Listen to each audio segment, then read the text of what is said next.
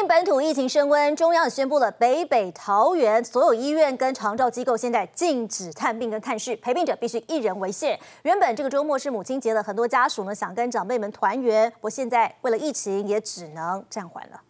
我叫伊去运动，唔免甲我看，我就好势好势。买买水果来我食就好。陈奶奶说起自己的家人，脸上始终挂着笑容，尽管住在长照中心，儿子和孙子还是常常来聊天，送好吃的。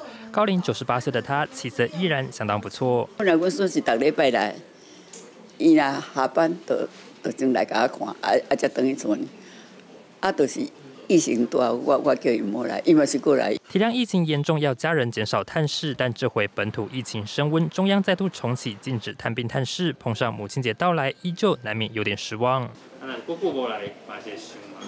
哎呦，会想哦，哎啦，姑姑无来，伊会敲电话给我，敲电话甲问问候就对啦吼。哎，会去阮干那时阵思想陪来甲带我的病房。当然，即个习惯啊嘛，惯势啊嘛。开始较袂习惯啦，啊，怎啊久有惯势啊？手机还得逐工拢有联络啦。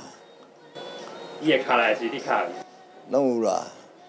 不能面对面，难免失落，索性还是能打打电话，透过视讯缓缓想念。原先因应母亲节举行了三年的全家福拍照活动，甚至出外旅游等等，也只能先暂缓。已经办这个活动已经办了三年，那每年都请呃义工，还有我们的摄影师、专业摄影师来替大家照全家福。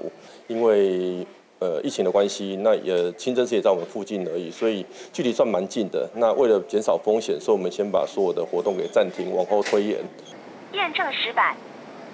去年疫情初爆发，好不容易稍稍平缓，想不到这回又再起，家人不能来探视，引来了最难过母亲节。记者王家庆、黄家伟台北采访报道。